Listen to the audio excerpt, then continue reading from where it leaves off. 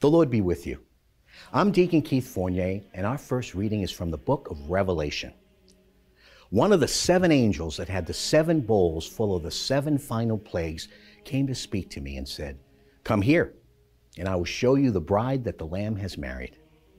In the Spirit, he carried me to the top of a very high mountain and showed me Jerusalem, the holy city, coming down out of heaven from God. It had all the glory of God and glittered like some precious jewel of crystal clear diamond. Its wall was of a great height and had 12 gates. At each of the 12 gates there was an angel, and over the gates were written the names of the 12 tribes of Israel. On the east there were three gates, on the north, three gates, on the south, three gates, on the west, three gates. The city wall stood on 12 foundation stones, each one of which bore the name of one of the 12 apostles of the Lamb. In our response from Psalm 145 All your creatures shall thank you, Yahweh, and your faithful shall bless you.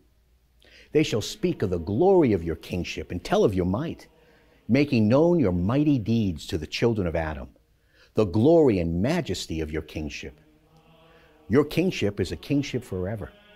Your reign lasts from age to age. Yahweh is trustworthy in all his words and upright in all his deeds. Upright in all that he does, Yahweh acts only in faithful love. He is close to all who call upon him, all who call on him from the heart.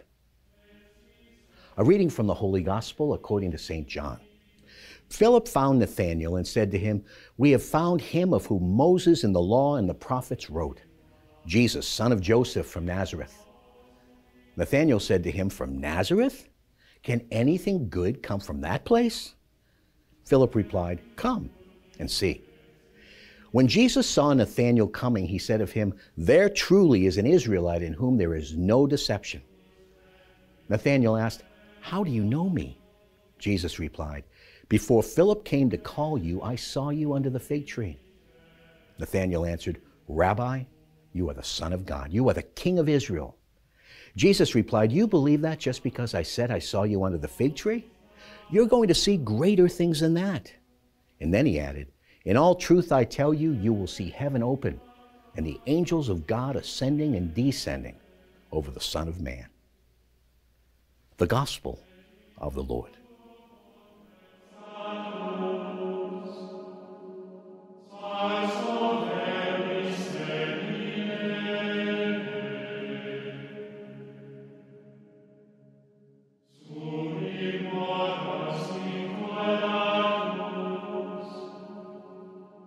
You